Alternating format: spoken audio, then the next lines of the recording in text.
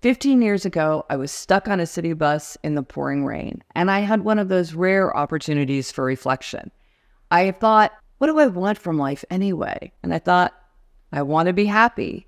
I'm Gretchen Rubin, the number one New York Times bestselling author of The Happiness Project. Now, as we approach 2024, I'm thrilled to introduce The Happiness Project Revisited, a new immersive exploration of the keys to happiness in today's world.